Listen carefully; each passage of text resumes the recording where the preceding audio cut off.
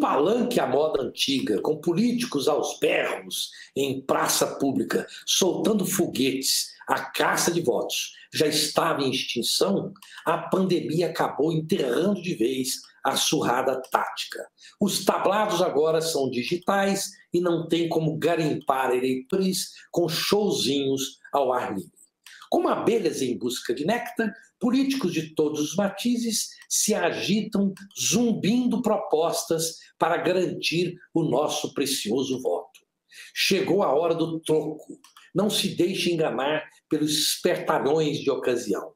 Olho no olho, vereador que facilitou leis contra os pais de família, permitindo, por exemplo, aumentar o nível de ruído, atrapalhando o sono dos trabalhadores, troco nele.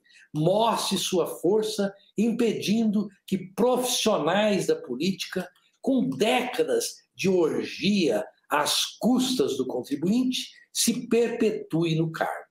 São muitos os exemplos de enganação. Na hora do troco, do voto, não podemos eleger quem está disposto a receber sem trabalhar?